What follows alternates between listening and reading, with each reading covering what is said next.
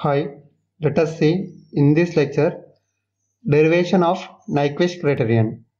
So this Nyquist criterion we divided into four parts. In this first one is the relationship between the poles of transfer function here 1 plus g of s h of s and poles of g of h h of s. So we need to find the relation between the poles of 1 plus g of s h of s and poles of g of s h of s. Okay. And next we need to find the relation between the zeros of 1 plus g of s h of s and poles of the closed loop transfer function t of s okay. Next third one is the concept of mapping points. Next fourth is concept of mapping contours. So if you understand these four derivations you will understand Nyquist criterion little easily. So let us start one by one. In this we have a total three transfer functions that is g of s h of s this is one transfer function. And second one is 1 plus g of s h of s. This is second one. And third one is t of s. This is closed loop transfer function.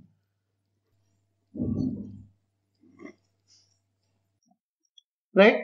So here we know open loop transfer function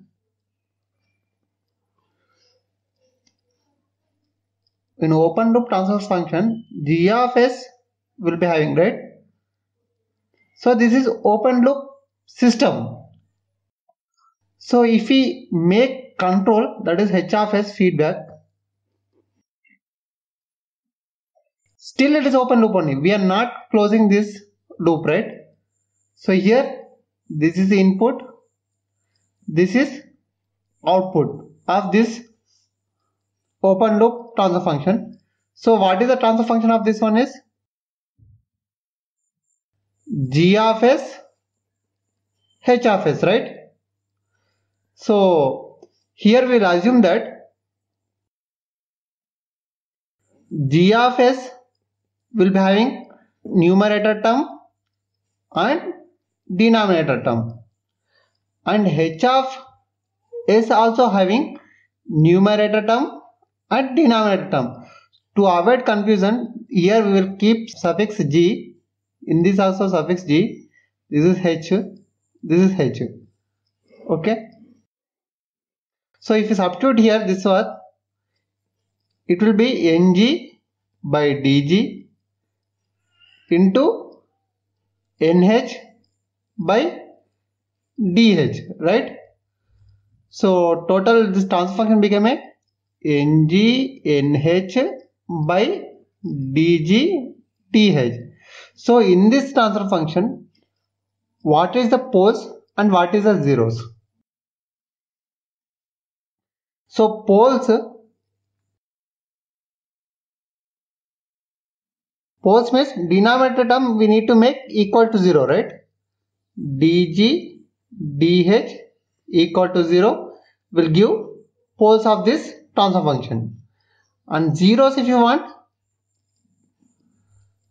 ng nh equal to 0 will give zeros of this transfer function right? So this is number 1 fine. So we solve this one. Next let us solve 1 plus g of s h of s. So we have a second transfer function. That is 1 plus g of s h of s right?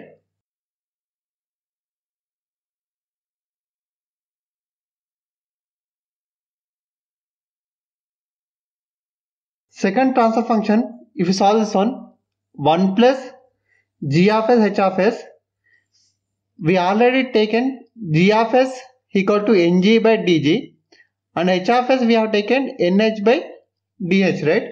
If you substitute these two in this equation then ng nh by dg dh right? So if you take LCM of this one dg dh so dg dh plus ng nh right? So in this transfer function what is the poles so here denominator of this term if you make 0 you will get poles right. So dg dh equal to 0 if you make you will get poles and zeros dg dh plus ng nh equal to 0 will give zeros of this transfer function right. Next third one is closed loop transfer function.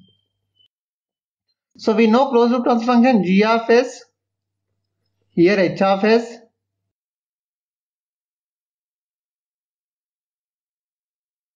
we have feedback path, negative feedback. So this is the output, input. So we know transfer function means output by input. So what is the transfer function of closed loop transfer function this one? g of s by 1 plus g of s h of s right. So here g of s and h of s we substitute these two same. So what will get? So n g by dg by 1 plus ng by dg nh by dh. So transfer function equal to ng by dg by this is I am going to solve dg dh plus ng nh by dg dh. So this this get cancelled out. So ng dh by dg dh plus ng nh. This is what we got it. So in this transfer function, what is the poles? So if you want poles of this one, dg dh plus ng nh equal to 0 if you want zeros, ng dh equal to 0. Right? So now let us conclude this 3. So let us conclude this 3. Here we have a 3 transfer function. This is 1, 2, 3. Okay. Number 1 transfer function, second transfer function, third transformation okay? So in this poles of the open loop transfer function and poles of 1 plus g of s h of s are both are same. So these poles these poles both are same. See dg h dh equal to 0 and dg dh equal to 0 right? And next zeros of 1 plus g of s h of s and poles of closed loop transfer function both are same. So here if you observe these two are same.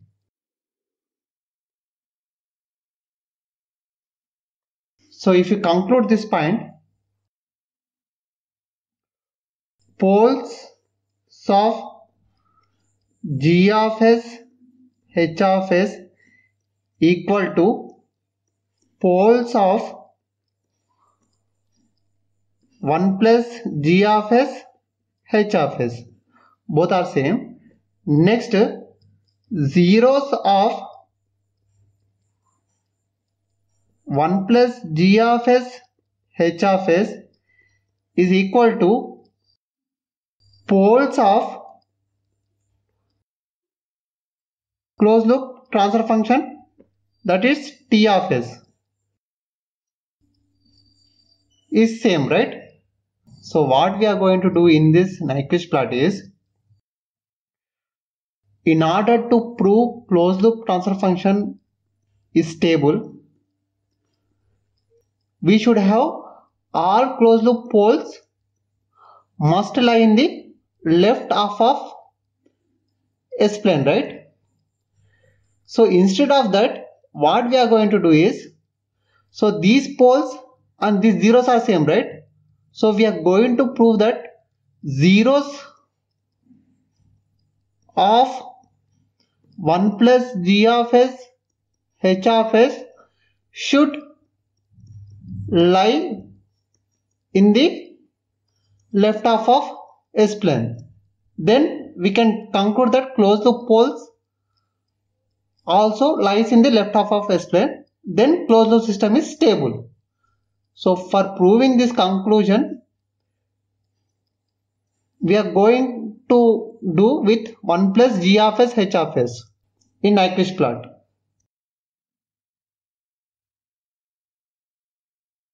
Thank you.